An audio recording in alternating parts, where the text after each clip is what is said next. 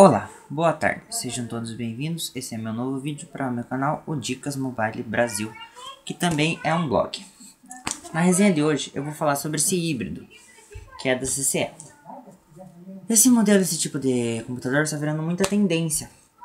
Ele traz o que, que ele é? Ele traz uma experiência completa do Windows, só que com um design pequeno, vários modos de usar e, e ele também é barato nesse caso, né? É, outra coisa também que dá pra falar é que é bom ver que no caso da CCE, que é uma empresa brasileira, que os brasileiros também estão chegando lá com essas novas tecnologias. Primeiramente, vamos falar então dele, do design. O modelo que eu comprei, e também é o único que é vendido aqui no Brasil, é o preto. Ele é todo preto. Aqui em cima ele é ele é uma textura bem gostosa. Ele é meio como se fosse É um plástico, só que é um plástico bem macio, bem bom, legal de pegar ele. Então, começando a falar o que, que ele tem. Na parte tablet dele, né? Ele tem uma entrada micro USB, uma entrada micro HDMI para TV, uma entrada para fone. Aqui, não sei se vocês vão conseguir ver, mas ele também tem uma entrada pro cartão de memória. Aqui tem o botão Windows dele, aqui tem os botões de volume. Na parte de cima ele só tem o botão de ligar. E nessa parte, no tablet não tem nada. A única coisa que tem também tem essa entradinha na parte do teclado. Aqui ele tem um logo da CCE, como vocês vão conseguir ver. Algumas outras inscrições. Atrás também tem a sua câmera. E embaixo ele é normal. Não tem o que falar dele. Agora, se você abrir ele, ele tem o tecladinho e o mousepad. Agora que está aberto, vou ligá-lo.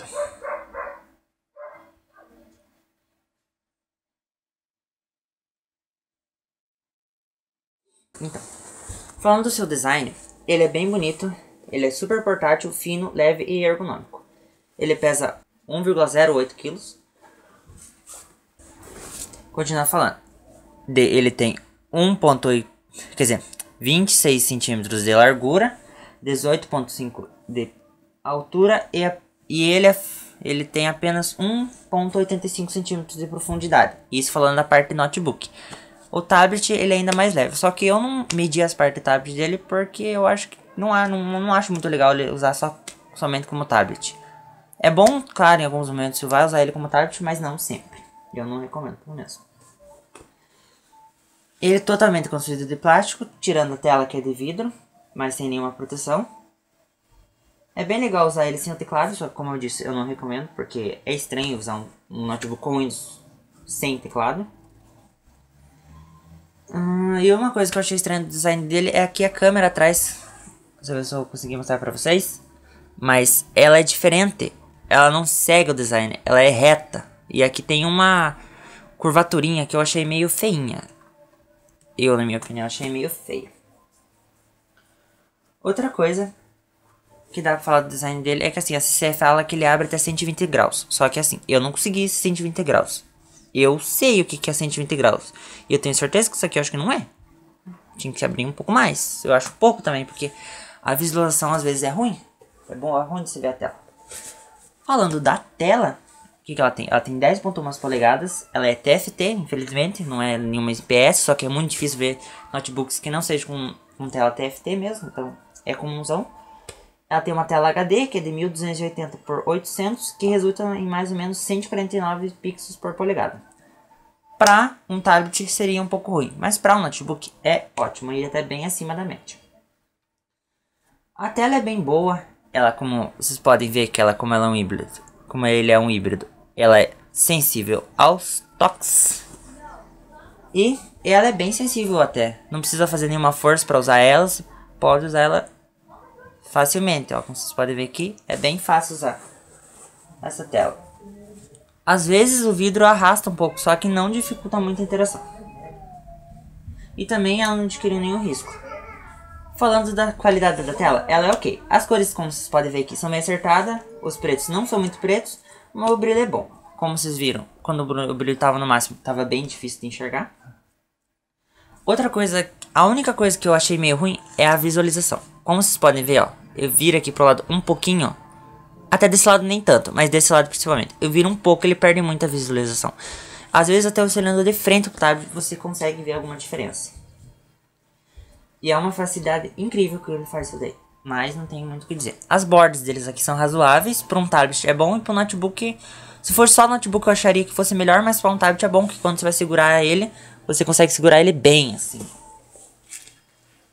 Já que eu falei da sua tela, vamos falar agora das suas conexões. O que ele possui? É um modelo bem básico, assim. Ele tem Wi-Fi .11 nos padrões BGN, ele tem Bluetooth, a versão não é, não é especificada, não diz nem aqui e nem no manual e em nenhum lugar da internet, ninguém sabe. Eu acho que seja uma versão 3.0 ou 4.0, porque ele não passa tão devagar os arquivos, é bem rapidinho até. Ele tem o micro USB 2.0, como eu mostrei aqui também, e também tem essa a micro HDMI também, né? E essa entrada USB 2.0 que fica aqui, só que ela só é ativada quando ela tá com o conjunto todo está completo sem o teclado, ele não tem essa conexão USB. Então você não vai poder usar pendrive e nada que use USB nativamente. Só se você comprar um cabo ATG e plugar aqui, funciona perfeitamente. Falando do seu hardware e desempenho, como ele é um modelo básico, ele para um modelo básico, no caso, ele até tem um processamento razoável. O que que ele tem? O que que vem aqui nesse neste neste modelito do CCE? para vocês verem. Mas o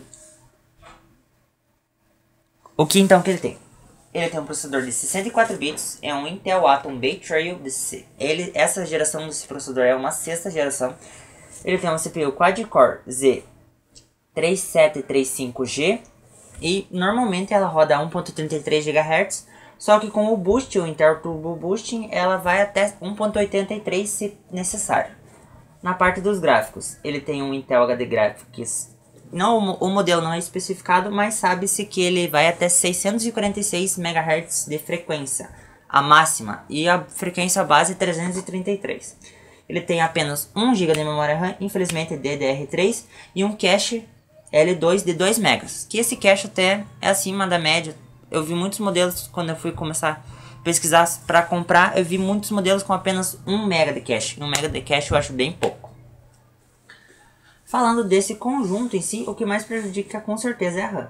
Porque esse, por, porque esse processador ele é bem rapidinho. Só que o problema dele é que como ele é feito para esses, esses dispositivos portáteis, a memória RAM e, as, e os outros componentes são soldados nele. Não tem como trocar a memória RAM, não tem como trocar nada. Se você veio com GB, vai ficar com somente 1 GB. E esse processador não tem isso daí. Falando de benchmarks e desempenho, né, no caso, o desempenho, a parte do desempenho, o que, que eu passei por ele? Eu passei, eu passei por ele o Cinebench e também eu passei o Além do Cinebench, eu passei também por ele o Geekbench. Como vocês vão poder ver aqui no no Geek, vocês podem ficar pensando, nossa, mas ele teve preguiça de passar dos benchmarks. Não. A maioria dos benchmarks que eu, dos benchmarks que eu tentei passar nele não rodam, porque a maioria dos benchmarks exigem pelo menos 2 GB de RAM. Como é o caso do PC Mark e do 3D Mark, que eu queria ter rodado nele, só que não deu. No Geekbench, como vocês podem ver aqui, ele tem uma pontuação de 723 no modo single core e 2100, 2106 no modo multicore. E aqui agora falando do Cinebench, no caso, como vocês podem ver aqui, no OpenGL ele teve 4.45 FPS e 1.05. Eu como nunca tinha usado, nunca essa é a primeira análise no, de um dispositivo com Windows que eu estou fazendo, eu não sei se essa, essas pontuações são boas ou ruins. O que eu posso dizer, como vocês podem ver aqui, comparado com processadores de desktop, é uma ele é, é fraquinho, só que claro, esses processadores são bem mais caros e mais fortes que ele mesmo. E comparado com o modelo que é semelhante a ele, que é o Positivo GX3020, ele é equivalente. E que é o Asus Transformer Book 100 T100, ele é um pouco abaixo, porque o Transformer Book ele tem 2 GB de RAM e não apenas um. E o processador também, se eu não me esqueço, é diferente, é um modelo diferente de processador. Para testar mesmo o desempenho, eu rodei dois jogos. Que foram, eu já vou colocar aqui para vocês verem. Os dois jogos que eu rodei foi o Land of the, the Dead que é um jogo de zumbi. E eu também o Max Payne 2, que, que é um jogo de tiro. Não é de zumbi, pelo menos. Tudo nessa... Eu não gosto só de zumbi. Vou rodar aqui o Max Payne, que eu acho que é o, o mais pesado que tem aqui. Eu vou rodar ele no máximo. E ele rodou razoavelmente bem. Eu recomendo que você jogue ele, ó. Vocês podem, não sei se vocês vão conseguir ver aqui. Mas ele tá totalmente, as texturas tá todo no máximo. Eu recomendo que vocês joguem no médio. Porque no máximo eu acho que exige um pouco demais desse, desse dispositivo. Mas dá pra, se você não se incomodar com alguns lags, dá pra você, dá pra você jogar sem problemas. No máximo. Enquanto que ele carrega aqui. Ah, além desses dois jogos de desktop, eu também testei um jogo ali da loja, que é o Mini Rush. Eu queria também ter instalado o Asphalt 8, só que eu acho que não caberia, porque o Asphalt 8 mede, em média 1.6. No Max Payne ele rodou tudo no máximo, e no Land of the Dead também, tudo no máximo. E isso aqui é pra provar que, claro, o Max Payne 2 é um jogo mais antigo, mas mesmo assim ele ainda consegue rodar um jogo. E o Max Payne não. Esse Max Payne 2 aqui, como qualquer outro da franquia Max Payne, é um jogo muito interessante. Então você... É só você ter calma, procurar jogos que não sejam muito pesados e vai dar pra você jogar nele. A pena, como eu já falei na parte do processamento, da parte do hardware lá, é que a pena tem um, 1 GB de RAM. Que Claro, quando você vai jogar, você vai só jogar. Mas quando você está usando dois, dois programas ao mesmo tempo, é comum dele mandar fechar algum programa pra, porque ele diz que senão vai perder dados. Porque esse 1 GB de RAM é muito pouco. Eu acho bem pequeno. Um caso que foi, que foi comum é que quando eu estava mexendo na internet pelo Firefox, eu instalei o Firefox porque o Google Chrome está meio pesado ultimamente. Enquanto eu estava mexendo pelo Firefox, eu fui a hora que eu fui instalar um aplicativo. E também, a hora que eu fui jogar, não, que eu fui abrir um jogo, um vídeo em HD, ele deu uma travadinha. E na hora que eu fui instalar o aplicativo, que é do, foi do Minion Rush, além de dar uma travadinha, ele também pediu para desligar o Firefox, que, se, que senão iria perder dados. Não que eu saiba, não perdeu nenhum dados, só que é, foi bem chatinho ele ter dado isso daí. Vou jogar aqui uma... Como vocês podem ver, tem uma, uma queda de frames razoável, no caso. Só que assim, isso não me incomodou. E também eu acho mais interessante jogar no médio, que do máximo pro médio eu, eu creio que não haja muita diferença. Vou passar isso aqui que eu não gosto, essas falhinhas aqui. Morri, mas eu, a outra vez que eu tava jogando, eu matei esse carinha aí. Enfim. Vou sair daqui. As were, I was afraid to go on. Tchau. Vamos voltar lá para a tela da frente. Falando do seu software agora. Ele é um ele tem Windows de verdade, amém. Ele tem Windows de computador. Então, qualquer programa que seja compatível com ele, você vai poder instalar. Importante se é da loja ou pode pegar de fora. Como eu também instalei alguns outros programas aqui, como vocês podem ver, eu não só instalei programas da loja, eu instalei programas de outros lugares. Os que eu sei que eu instalei, na verdade, de outros lugares, o único que eu instalei foi os benchmarks e também o WinRAR, que é para um descomputador de arquivos RAR e zip. O que dá para falar é que o Windows 8.1 é leve e roda muito bem. Por ele ter essa tela toque é muito legal, porque algumas vezes você pode mexer pela tela de toque, outras coisas é mais legal mexer com o mouse e o teclado para como edição de documentos e navegação na internet, mas para outras coisas você pode usar ele livremente só com a tela que tem o Windows. Que ó, não tem problema nenhum. É só você aprender a mexer que você vai conseguir mexer sem nenhum problema. Falando dos aplicativos, eu acho que vem um exagero de aplicativos. Vem toda aquela suíte dos aplicativos aqui do. Aqui eu instalei quase todos, mas vem muitos aplicativos da Windows Store e mais vários. Tem até jogos como Reckless Racing. Eu vou deixar no blog três screenshots, porque deu três screenshots só de aplicativos que vem aqui, para vocês verem o que, que vem e o que, que não vem. O que é legal de falar é que ele já vem com o Office, só que esse Office, como que ele funciona? Ele não está instalado, ele está instalado, só que ele não está funcionando completamente. O que, que, você vai ter que fazer? Você, a partir do momento que você compra esse, esse tablet aqui, você ganha um ano de assinatura do Office, Office 365, que ele ativa aqui o, o Office nesse computador e também na internet. E você também tem 1 GB de. 1 TB, no caso, 1 terabyte de armazenamento no SkyDrive. É bem interessante. Na parte das mídias, eu vou colocar um vídeo aqui para vocês verem. Ele tem dois alto-falantes que formam um som estéreo lá atrás. Eles são razoavelmente altos, a qualidade dele eu gostei. O problema é que ele, como qualquer alto-falante de qualquer dispositivos móveis, eles caem mais pros agudos. Vou colocar aqui um vídeo em Full HD para vocês verem como ele... Na hora que ele começa a rodar, ele roda com um pouco de umas travadinhas, só que depois que ele se acostuma com o vídeo, ele roda sem problemas. Deixa eu ver, cadê? Aqui, ó. Esse vídeo aqui é em Full HD. Vou deixar o som no máximo também. Esse é o som no máximo dele.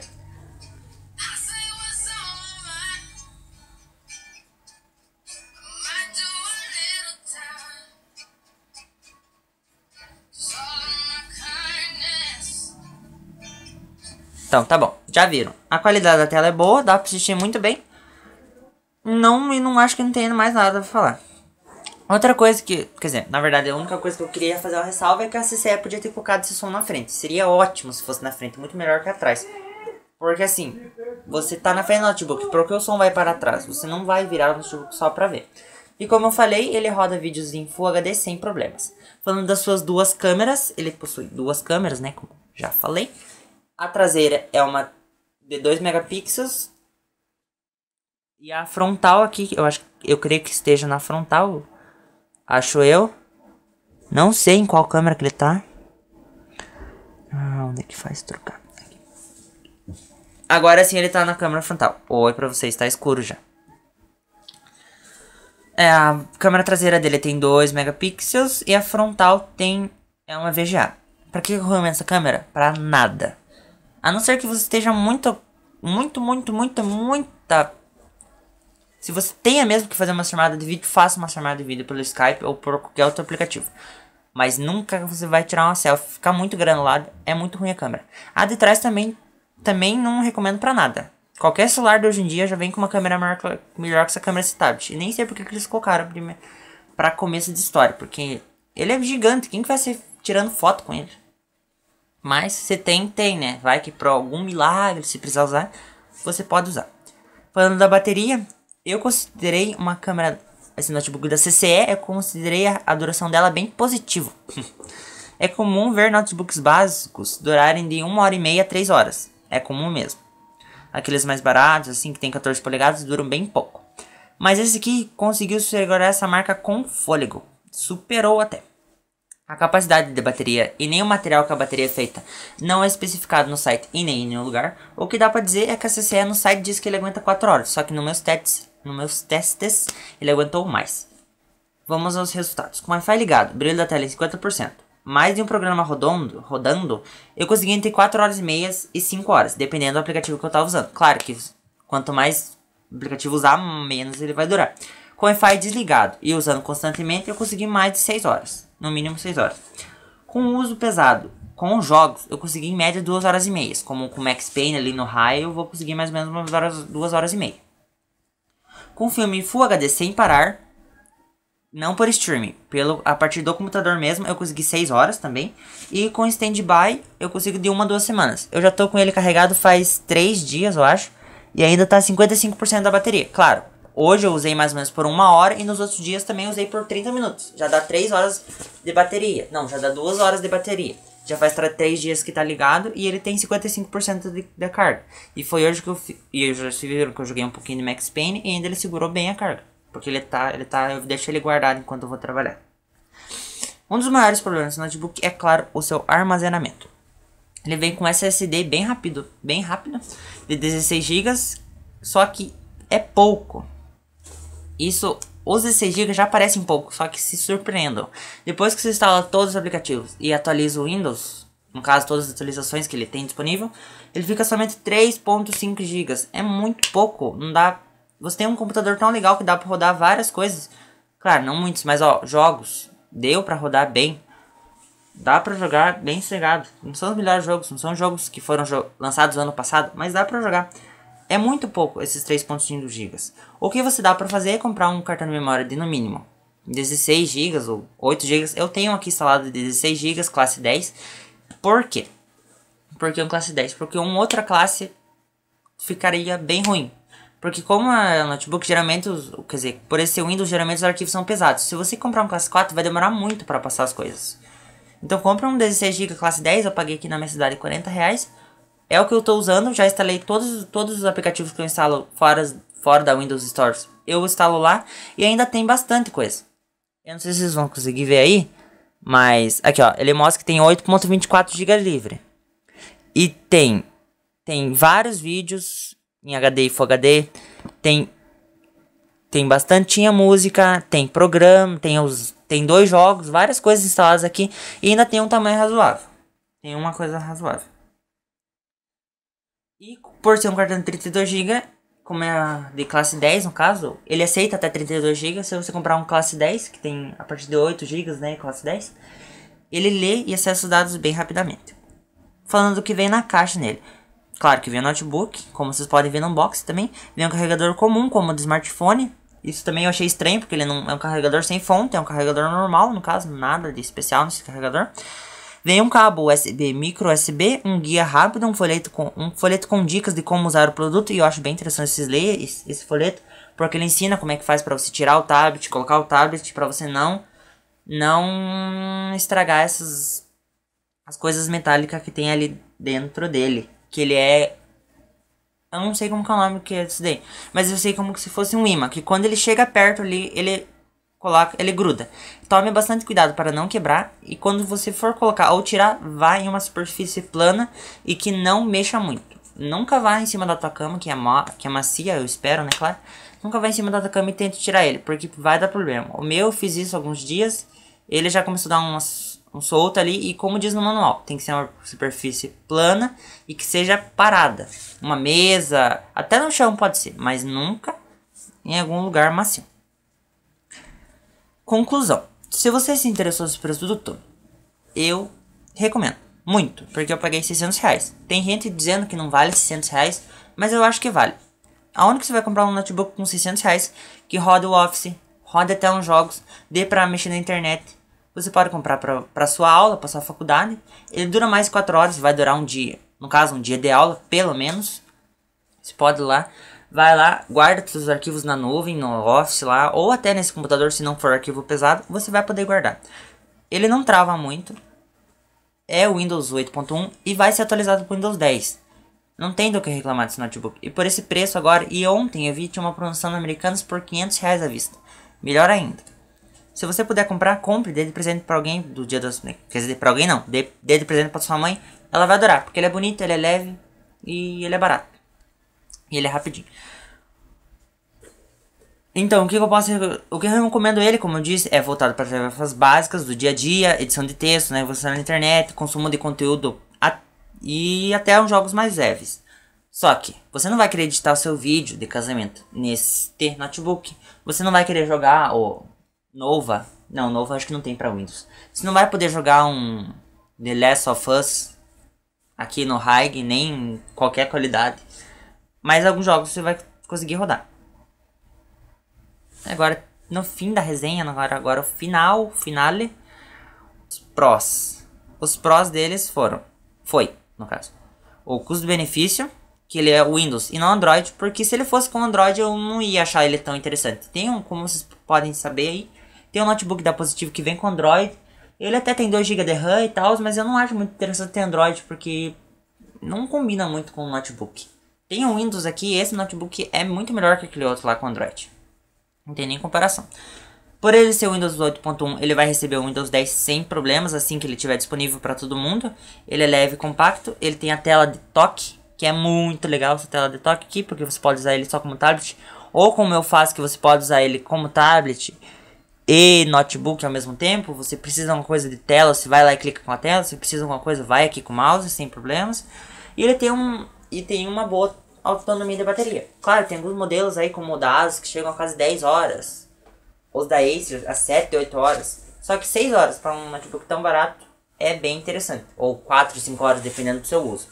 O que eu não gostei no caso foi o contra. É que o armazenamento é péssimo, é muito pouco. É um notebook muito legal. Ele devia ter muito mais armazenamento. Pelo menos uns 64 GB era o esperado. Nem que ele custasse um pouco mais caro.